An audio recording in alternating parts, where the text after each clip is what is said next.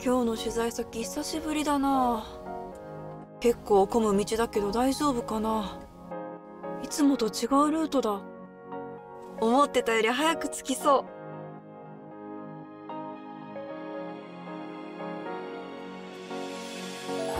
トヨタスマートセンター内に集まる道路交通情報や地図データを使ってルートを探索。目的地までの新しい地図データと最適なルートをナビに配信します。およそ1キロ先左方向です。えこの前来た時まっすぐだったけど。あそっか。新しい道できたんだ。センター内の地図データを配信するのでナビ画面はいつでも新しい道路が表示されます到着予想もぴったり。ハイブリッドナビは賢くって頼りになるな。